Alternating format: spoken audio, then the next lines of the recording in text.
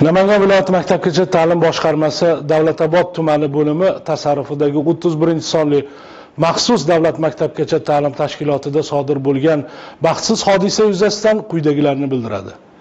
Haqiqatdan ham ulug'bek hoshimov 2019 yil 27 fevraldan buyon ushbu tashkilotda tarbiyalanib kelgan.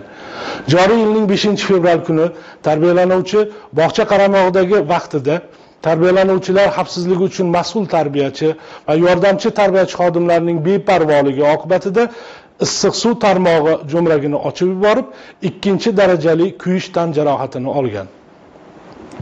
Voqea sodir bo'lgan vaqtning o'zida tashkilotning shifokor hamshira va boshqa xodimlar tomonidan birinchi tibbiy yordam ko'rsatilgan. Tez yordam ko'magida viloyat ko'p tarmoqli bolalar shifoxonasiga yotqizilgan. Viloyat maktabgacha ta'lim boshqarmasi voqea kunining o'zida xizmat tekshiruvi o'tkazgan. Ishchi guruh tomonidan tuzilgan dalolatnomada mazkur hodisa tashkilot mas'ul xodimlarining xizmat vazifasiga sovuqqonligi va beparvoligi tufayli sodir bo'lganligi qayd etilgan va boshqarma vakolati doirasida tashkilotning uch nafar xodimi vazifasidan ozod etilgan. Voqea yuzasidan o'tkazilgan xizmat tekshiruvi xulosasi davlatobod tuman prokuraturasi yurituviga yuborilgan.